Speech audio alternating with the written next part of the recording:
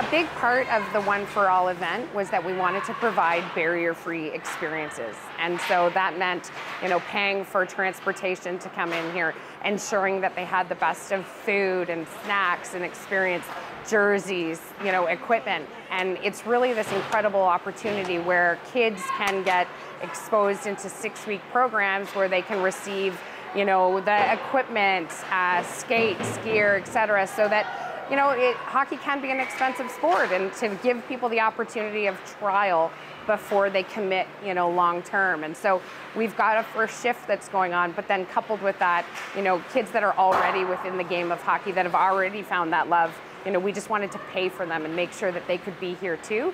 Bring them together, make it easy, make it fun, and just eliminate any of those barriers that could prevent somebody from not being able to, to join us.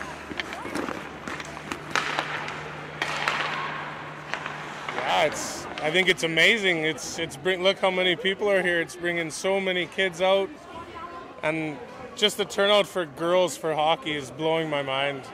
It it just shows that your dreams can come true, right? You just keep striving for your dreams. You come out and they're they're giving us all this gear. Like that's I can't even believe what's happening right now. first year to have it here is super exciting because we have we don't always get these opportunities. Um, I think that it's great that Hockey Canada has partnered with Hockey North to put on this programming not only for athletes in the NWT but also for Nunavut. Um, we've brought in players from across both of these territories, uh, and it's just promoting female empowerment and female sport and keeping girls in sport. And I think that that's a really great initiative to have on.